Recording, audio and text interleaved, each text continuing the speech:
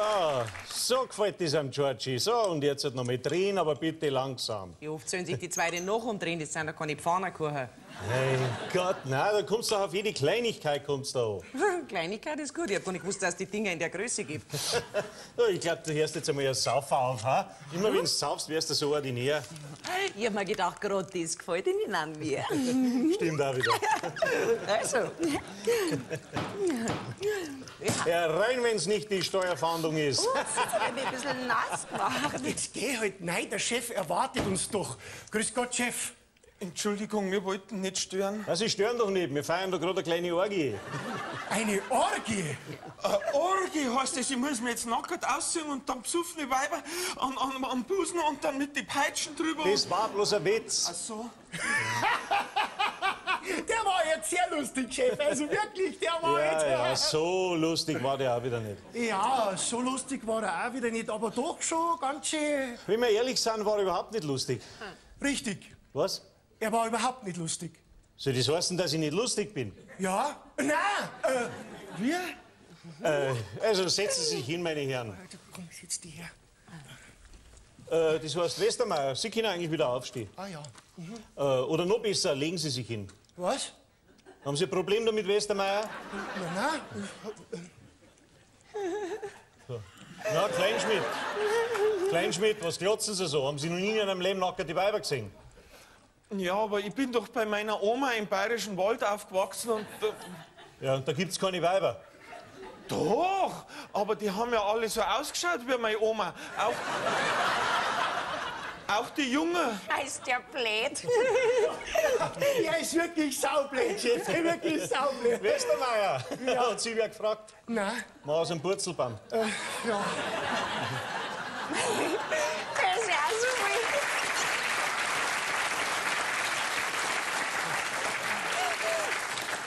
Das ist ja auch so viel saublöd. Das sagst du ausgerechnet du. Was? Da haben meine Socken haben einen höheren IQ wie du. Das stimmt jetzt wirklich. Sie ist wirklich saublöd, Chef. Fünf Liegestützen. Okay. So, Hasi, komm, jetzt gib ihm gleich mit auch mal ein Glasl. Ha?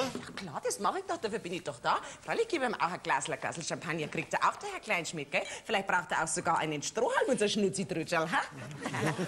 Das hast du sehr schön gemacht, Ja. Mitzelein. Und jetzt hältst einfach einmal eine Zeit lang den Pappen. Ja, also, meine Herren, was führt Sie zu mir? Äh, ja, Chef, es ist ja so, Sie haben gesagt, Sie hätten die außerordentliche Güte und Sie wollen uns ein paar Titten zeigen. Was? Äh, ein paar, paar Tippse. Tipps, Tipps, Tippse geben. Tipps. Ah, jetzt weiß ich wieder. Genau, richtig, ja. Entschuldigung, kann die vielleicht doch einen Strohhalm? Was? Nein, nix, es geht auch so. Ja. Jetzt, meine Herren, schrauben Sie sich einmal ein bisschen locker, ja? Ja, ich bin total locker, Chef. Ich bin sowas von locker. Super locker bin ich schon. Dreimal ich... Westermeier, dreimal ich bin ein Esel. Ich bin ein Esel, ich bin ein Esel, ich bin ein Ist Esel. der blöd? So, und jetzt gebe ich Ihnen mal eine Stunde, gebe ich Ihnen jetzt, wie Sie sich durchsetzen können in der harten Branche der Miederwarenindustrie. Regel Nummer eins, Sie lieben Ihr Produkt. Jacqueline, gehen wir da hin. So, jetzt, äh, sagen Sie mir, Kleinschmidt, haben Sie sowas bei sich daheim schon mal gesehen? Da in die Zeitschriften. Ja, die einzig weibliche bei denen da haben, waren wahrscheinlich die Kühe. Naja, gut, Frauen und Kühe, vom Unterschied her ist das ja auch nicht so. Ja, Ruhe jetzt, Himmel, Herrgott, Sakrament. Ist da jetzt wieder Ruhe? Jetzt, Kleinschmidt, langen Sie mal hin. Wohin? Ja, den Stoff, langen Sie mal den Stoff, auch ruhig einmal unter das Futter, einfach mal die Qualität spüren. Ha, was sagen Sie, denn, Kleinschmidt? Ich hab Angst, Vor was haben Sie denn Angst? Dass schwanger wird. Was? Was? War ein Witz. Das war jetzt aber gar nicht lustig. Das Schwanger wird vom Ulanger. Danke, meine Damen, das war's für heute. Das Schwanger wird vom Ulanger. Das ist nicht lustig. Stimmt. Westermeier, Jawohl, Chef. Sie sind entlassen. Aber Chef? Wollen Sie mir widersprechen? Ja, äh, na, äh, ja dann auf Wiederschauen. So, Kleinschmidt, das war's, was ich Ihnen zeigen wollte, wie man Leid rausschmeißt. Verstehst? Mit einer Autorität. Haben Sie es verstanden? Verstehe, Chef. Ja, und jetzt Sie. Was? Schmeißen Sie Miezi raus. Was spinnst du? Ja komm, irgendwann war's doch sowieso geflogen, oder? Und dann kann, er, dann kann er, der Kleinschmidt schon mal ein bisschen üben, nicht? Ja, aber Herr Rammerl, das ist doch moralisch jetzt nicht. Moralisch, moralisch. Wir sind in der freien Marktwirtschaft, da gibt es keine Moral. Verstehen Sie das? Ich glaub schon. Ja, das Ist sie der- so teuer? Ja, so teuer, so teuer. Wo kommt jetzt er mit teuer wieder daher? Er kapiert's einfach nicht. Die ganzen Versicherungen, nicht? Äh, äh, äh, äh, Arbeitslosenversicherung, die ganzen Krankenversicherungen und so weiter. Und dann ist sie eine Frau. Da kann es mir als Unternehmer passieren, wenn ich Pech habe, dass sie ankommt und, und hat einen Braten in der Röhre, nicht? Ja, ich, ne, ich nehme die Pille. Ja, Hasi, einmal im Monat. Das ist besser wie gar nichts. Ja, ja, freilich. Ja, dann nehmen wir doch lieber eine Leiharbeiterin, die kostet mir die Hälfte wie sie da, verstehst? Und wenn es eine Polin ist oder eine Tschechin, dann kostet mir das Viertelte. Nicht? Und wenn mir irgendwas nicht passt bei derer, nicht? wenn es mir auf den Seier geht oder wenn mir ein Kaffee nicht schmeckt, na hau es raus, dass die Schuhe einen Strimpf verliert. Haben Sie es verstanden? Ja, glaub schon. Gut, dann fassen Sie jetzt einfach nur mal zusammen, was Sie heute bei mir gelernt haben. Sie sind ein Schwein. Was?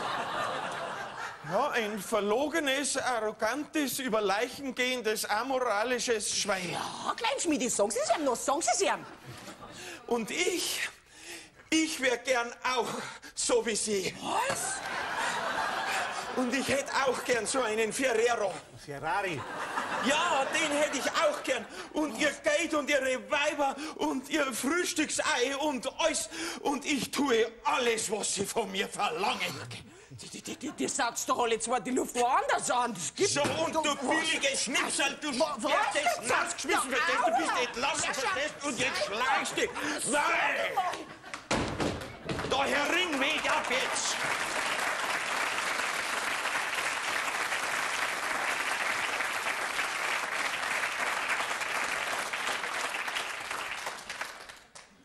Weil da herin wart ab jetzt ein anderer Wind, weil ich, ich bin ein Schwein. Kleinschmidt, Sie gefallen mir. So, und Sie halten's Mai und schenken mir einen Schappusei.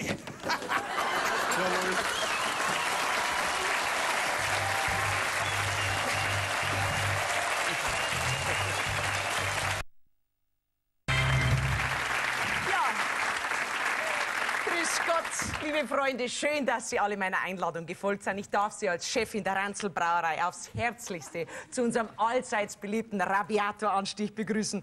Uns ist heuer wieder ein hervorragendes Starkbier gelungen. Unser Braumeister hat gesagt, der Rabiator ist heuer so gut, der ist fast zu schade zum wieder hinausbrunzen, gell?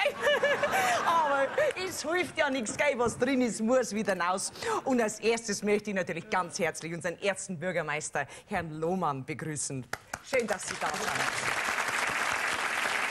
Liebe Mitbürgerinnen und Mitbürger, ich freue mich ganz besonders, dass wir uns heute hier zusammengefunden haben und darf mein Moss Herr erheben. Lohmann, Au- Herr Lohmann. Herr Lohmann, wir wissen alle, Sie sind gebürtig in Köln, aber sagen Sie mal, wie lange sind Sie hier schon in Güldenstadt im schönen Oberbayern? Hm? Spatzel, äh, es werden 28 Jahre schon sein. Ja. Da wissen Sie immer noch nicht, dass das Getränk, das Sie da gerade in der Hand halten, dass es kein Morsel ist, sondern eine Mass. Ha? Ja, Sie dürfen sich wieder hinsetzen. Also, äh, begrüßen möchte ich auch natürlich noch unseren zweiten Bürgermeister, Herrn Saalfeld. Grüß Gott, herzlich willkommen.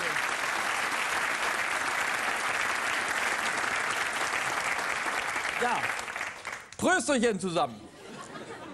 Dann wünsche ich uns einen guten Durst bei dieser Maß. Mass, es heißt Mass, auch für einen Preis ein kurzes A, scharfes S. Mass, es heißt nicht Moors oder Maß, es heißt Mass, Herrschaft, Zeit Nummer rein, da kann ich mich schon wieder so Ah, Frau aufregen. Ranzel, jetzt regen Sie sich doch ab. Hier äh, fehlen übrigens die Brezeln. Brezen, diese braunen, geschlungenen Backwaren heißen Brezen, Pretzeln, das ist das Zeug, an dem der George Bush schon mal fast verreckt hat. Das da sind Brezen. Herrschaftszeit nur einmal, sag ich's fein nicht, gell? Ja, äh, ja, herzlich begrüßen möchte ich äh, natürlich auch unseren Kreisheimatpfleger, Herrn Georg Bremmer, der jetzt als Bruder Barnabas in der heutigen Fastenpredigt uns kräftig die Leviten lesen wird. Schauen Sie, Herr Bremmer, jetzt geht's los. Ja, Grüß Gott zusammen, grüß Gott miteinander. Freut mich, dass Sie alle gekommen sind. Ja, was sehe ich denn da? Es sind ja heute gar keine SPDler unter uns. Die habe ich wohl letztes Jahr in der Fastenpredigt so hergenommen, dass sie sich nicht mehr hertraut haben, gell? Aber gerade bei unserem Ober-SPDler, beim Herrn Schumacher, da, da, da, da, wundert es mich natürlich schon, gell, dass der die Freimaßen nicht mitgenommen hat heute. Ja, ja, das hätte es früher nicht gegeben, gell? Ja, freilich. Aber früher hätte es halt auch nicht gegeben, dass die CSU bei uns äh, nicht mehr alleine regieren kann in Güldenstadt, gell? Da hat man halt einfach als Spitzenkandidaten der CSU eine Parkuhr aufgestellt und die ist dann automatisch Oberbürgermeister geworden, gell? Und jetzt muss die Parkuhr zusammen mit den Freien Wählern regieren, gell? Das ist schon ganz blöd gelaufen, gell, Herr Lohmann? Ja, ja, ja. Äh, haben Sie das im Fernsehen gesehen beim Nockerberg, dass man auch dann lachen muss, wenn man gerade zum Deppen gemacht Ja, worden ist? genau, ja, ja. Herrschaftszeiten, gut ist er. Ja. Und Sie, äh, äh, Herr Saalfeld, der zweite äh, Bürgermeister, was macht der eigentlich? Also außer, dass er bei irgendwelchen blöden Empfängen, äh, was weiß ich, den, den nordböhmischen äh, Volkstanzgruppen Grüß Gott sagen muss, weil der Oberbürgermeister keine Zeit hat, weil er bei einem anderen blödsinnigen Empfang den südböhmischen äh, Volkstanzgruppen Grüß Gott sagen muss. Kommt man sich da nicht vor wie ein Vollidiot? Ja, Sie schauen es auch immer Nockerberg an, gell? Ja. ja. Und äh, finden Sie das eigentlich normal, Herr Saalfeld, dass es, äh, das Gartenbauamt äh, von Güldenstadt, dass das auch Ihren privaten Garten immer kostenlos herrichtet? ja, da brauchst du gar nicht so blöd lachen, Herr Lohmann. Da brauchst du gar nicht so blöd lachen. Ist, ist das eigentlich ein Zufall, dass ausgerechnet die Baufirma, die gerade den Renovierungsauftrag fürs Rathaus gekriegt hat, dass die ihre private Villa umbaut? Ist das Zufall? Deine auf! Das ist ein Fundiger. Ah, super, ja. Wer hat euch zwei eigentlich ins Hirn geschissen? Ich sag mir, ihr seid doch für mich die größten Voll... Jetzt sind's halt nicht so der, die zwei kommen doch sonst nächstes Jahr nimmer. Das ist doch mir scheißegal, ob die nächstes Jahr kommen oder nicht. Von mir aus, da sticken die an ihre Brezeln und an ihre Morsen. Verstehst? Von mir aus kommt überhaupt keiner mehr von dem Geschwerl da. Das weiß doch keiner, wie schwierig das, ist, dass man so überhaupt so Fasten, Predigt, Krampf, Dreck rausschwitzt, nicht, wo nichts passiert in unserem bläden Kaff. Es passiert doch nichts bei uns. Nicht einmal, dass man ein Skandal oder irgendwas war, nicht? Was soll denn bei uns für ein Skandal passieren? Ja, das weiß doch ich nicht. Irgendwas, halt, was ich, dass äh, von mir aus ein riesendrum Fußballstadion gebaut wird für einen Verein, der wahrscheinlich demnächst in der Bezirksliga rumstolpert. Nicht? So, da, da, sowas, nicht? Oder, oder, Das passiert doch bei uns nicht. ja, oder ir- irgendwas, nicht? Dass, dass was passiert, dass von mir aus, ich weiß nicht, dass die Tür aufgeht und der Stäuber kommt rein. Irgend sowas, Freilich nicht? wird da die Tür aufgehen und der Herr Stoiber kommt rein. Mein Gott,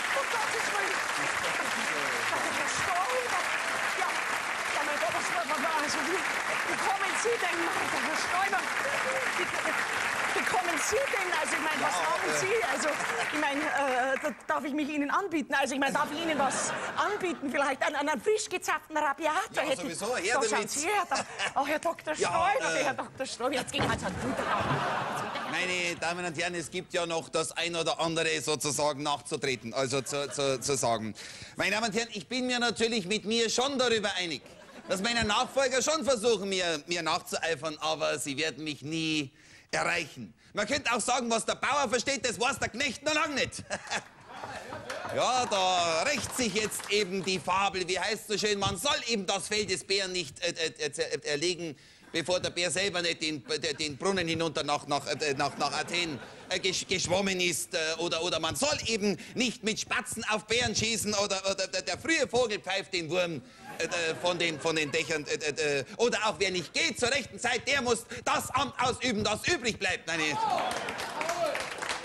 und dann steigt plötzlich nach der Landtagswahl wie, wie, wie, wie, wie Unox aus der Dose, wie, wie, wie, wie, wie Phönix aus, der, aus, der, aus dem Seehofer, der Horst, äh, aus, der, aus der Dose, äh, aus, dem, aus, dem, aus der Asche sozusagen, äh, äh, Schmarrn wieder und, und stellt äh, sozusagen das ganze Führungstandem für immer in den Radelkeller. Aber Tandems, die zählen unter Fahrräder und dafür gibt's keine Abwrackprämie. So ein Mist, meine Damen und Herren. Dafür hat man jemand, der als abgewrackt galt, längst wieder sozusagen aufpoliert, wenn Sie so wollen. Ja, Totgesagte leben eben länger. Das sieht man nicht nur an mir oder am Horst Seehofer, sondern auch an der Monika Hohlmeier, meine äh, Damen und Herren. Ja, jetzt ist sie ja wieder auferstanden. Als Oberfränkin, meine Damen und Herren, der Strauß, wenn das wüsste, der würde sich im Grab umdrehen, ja, der, der würde rotieren, meine Damen und Herren. Wenn man da eine Turbine anschließt, dann könnte man ganz München zehn Jahre lang beleuchten damit. Meine, meine Damen und Herren, die Hohlmeier geboren als, äh, wiedergeboren als, als Oberfränkin, das ist wie als wenn du als Hinduist, als Angler stirbst und als Wurm wiedergeboren bist. Meine Damen und Herren, ja, die Hohlmeier hat ja jetzt innerhalb der CSU auch schon einen eigenen Arbeitskreis gegründet für buddhistisch-sozialistische Europaabgeordnete, kurz BSE. Jetzt fehlt bloß noch, dass der Transrapid wiederkommt, gell? Also zum Beispiel zwischen Wirtshaus und, und Pfarramt oder, oder Kirchen am besten, dass man schneller in, in Dings kommt sozusagen. Oder dass ich wiederkomme vielleicht als äh, Bundeskanzler. ich hätte mich ich hätte mich jedenfalls nicht getraut, die Angela Merkel zu kritisieren, den, den, den, den, Entschuldigung, den Papst zu kritisieren, so wie diese, wie diese Angela Merkel, meine, meine sehr verehrten Damen und Herren. Der Bayer ist, der, der Papst ist ein Bayer und damit für Ostdeutsche unantastbar, meine sehr verehrten Damen und Herren. Ich lasse mir von dieser Merkel, von dieser zwangsfrisierten ostdeutschen Frustlädchen nicht meinen bayerischen Papst kritisieren. Bei uns gilt immer noch das alte Testament, meine Damen und Herren. Ich äh, habe fertig. Ja. ja. So glücklich. Ich bin sprachlos. Also, das ist ja wirklich. Ja. Das ist das, das Schönste.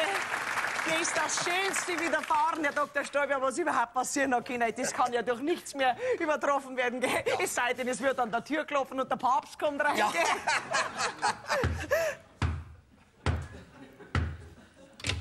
Servus, ich bin der Bonzo.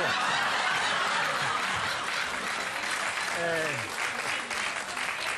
kurze Frage. Braucht hier jemand flache Fernseher? Äh, äh, äh, Plasma oder, oder LCD? Keine Ahnung, ich seid so flache Fernseher, weißt du? Mit Festplattenreceiver oder ohne? Weißkopf, erzähl mir, frag mir irgendwas, was ich nicht weiß. HDTV-fähig oder nicht? Was HIV? Willst du mich verarschen oder was? Sagen Sie mal, Herr, Herr Gonzo, äh, wo sind denn diese, äh, diese, diese, diese, diese Fernseher? Die sind draußen, weißt du, die sind von Lastwagen runtergefallen. um Gottes Willen, hoffentlich ist da keiner kaputt. Äh, sagen Sie mal, äh, äh, machen, machen Sie auch Tauschgeschäfte her, Dings, Dings. Was, was hast du anzubieten? Ja, also, ich habe noch einen durchgeschwitzten Anzug von Franz Josef Strauß, einen Trachtenanzug. Den nehme ich, den nehme ich. Den verkaufe ich an Seehofer, der zahlt dafür jeden Preis. Komm, schlag ein, Weißkopf. Ja.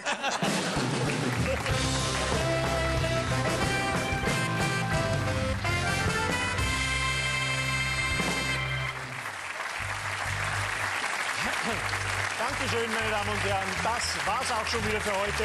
Ich bedanke mich bei meinen Gästen, bei Monika Gruber, bei Guido Kanz, bei Stefan Bauer, bei Wolfgang Krebs. Wir kommen im Mai wieder dann mit Peter Schapp und Willi Astor. Lassen Sie sich nicht unterkriegen. Bleiben Sie, wie Sie sind. Was anderes bleibt ja eh nicht übrig. Dankeschön.